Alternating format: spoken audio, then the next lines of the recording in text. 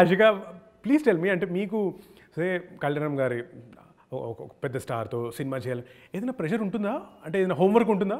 Uh, that uh, నేను start చేసి shooting వచ్చే ముందు uh, నన్ను నేను నేను I have to be like this or I have to do some extra homework hard work అలాంటివి ఏమైనా ఉంటాయా?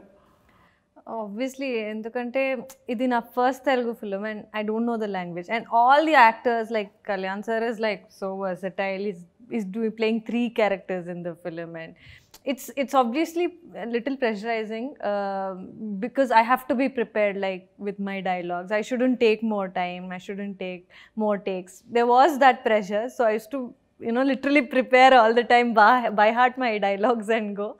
But then he's like uh, in the beginning it was like he said hi. I said hi. That's all. We never spoke in you know in the uh, initial time of the shoot. Um, but then later on we started you know talking a little bit uh, and then i got comfortable uh, with him. So and he used to help me with my telugu dialogues and all that. So i i, I then started feeling that he was so simple that I never felt okay, I'm acting in front of a star or something like that. It was never yeah. like that. So he made me really that. that. I don't need to tell. I think everybody in the industry, like I'm hearing, uh, or I'm even for I'm, people who do interviews, he's so sweet. Yeah, he's so simple, so grounded that uh, nobody feels that pressure of you know, okay, we have to be like cautious it's not like that. So I'm very happy that I got to, you know, be a part of Amigos and this is my first film. So first co-actor is always like You special. are blessed, that's it. Yeah, I'm just, you just blessed. thank your stars. yeah, yeah, Please don't say that.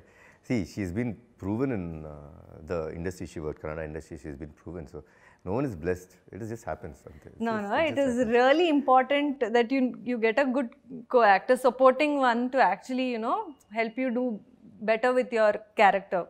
Uh, I mean, for me, this character is completely new and, you know, the language and everything. So he was there in front of me all the time. So every time I do my shot and I look at him, he says, okay, then okay. Pass. so it used to be like all the suggestion shots and all in the beginning. Um, before my close and all, he used to stand in front of me, right? So when he used to say, ah, you're doing fine, then I'm like, okay, fine. I can aram se do it, do my closes. So it, it was that comfortable working with him.